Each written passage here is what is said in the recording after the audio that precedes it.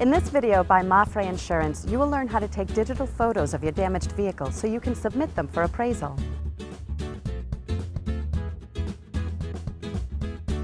MAPFRE Insurance believes in providing you with outstanding claim service by offering ways to expedite the process. To take your own appraisal photos, follow these simple steps. To begin, stand directly in front of the damaged area and take your first digital photo. Make sure the sun or any lighting is behind and above you to avoid reflection and glare. Next, move to your left and take a digital picture of the damage from that angle. Then, move to your right and take a similar photo. Finally, take a photo of your license plate.